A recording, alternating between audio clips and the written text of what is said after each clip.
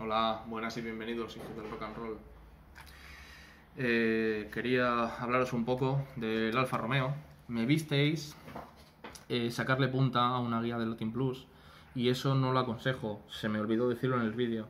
No lo aconsejo nunca. ¿Por qué? Porque la guía Lotin Plus precisamente le hace bueno tener ese terminal de ahí que hace que elimine fricción cuando va en el rail. Esa punta de ahí y esta. Bien, este vídeo había surgido primero para una persona que me había dicho que cortar una guía de Lotin Plus es difícil. Bueno, con la herramienta adecuada nada es difícil. Esto es una cizallica del AliExpress, luego os dejo el link y ahí tiene su parte para cortar. La vamos a cortar siempre de atrás para evitar que los quesitos, la longitud de la pala, no se atasque y le cueste menos al coche entrar a, curva y, poder lidiar con los quesitos. Vamos a, a ponerlo en hendidura simplemente. Ya está, tan fácil como eso. Un corte perfecto, limpio y ya no estorba. Bien. En el vídeo no expliqué nada acerca de basculación. El coche, eh, la forma de proceder, igual que toquemos los tornillos eh, delanteros y los traseros, la forma de proceder con la basculación es parecida. Cuando ya el coche iba medio bien, le dimos aproximadamente un milímetro detrás de basculación. ¿Se aprecia ahí lo que se mueve?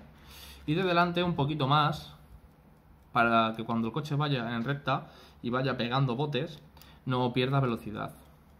Bien, pues la basculación igual. Eh, eh, primero eh, tocaremos el tornillo trasero. Si lo apretamos, conseguiremos que el coche traccione más rápido, pero cuando vaya el coche ya recto a salir de curva. Y en cambio, si lo que queremos es que pase mejor por curva, lo soltaremos más. Eso habrá que buscarlo, ya, os digo, media vuelta, probar en pista, limpiamos neumático, probamos en pista y haremos un tiempo, tendremos unas sensaciones volveremos a tocar el tornillo en dirección opuesta o seguiremos aflojando o apretando, depende de la corriente que sigamos, y volveremos a coger, limpiar neumáticos y probar otra vez. Y esa es la forma de conseguir la basculación que, deseemos.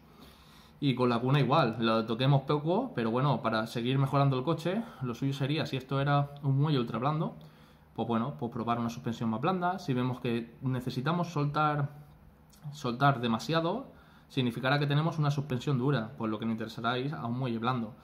Eh, esto es un Mitos S1, que creo, bueno, creo que lo dije en el vídeo, que es del diámetro perfecto para la llanta. Eh, la transmisión, la transmisión no dije nada. Eh, para coger y ganar tiempo, obviamente, nuestra pista es como es y le viene bien un 1227.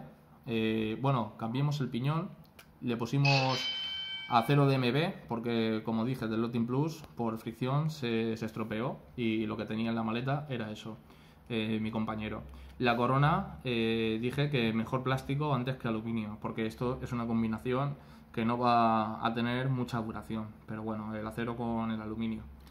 Y, nada, sería probar otra transmisión también, coger ya cuando tengamos todo el coche más o menos probado, coger y sustituir la corona, un diente más, un diente menos, probar a ver qué transmisión nos viene mejor y eso es todo.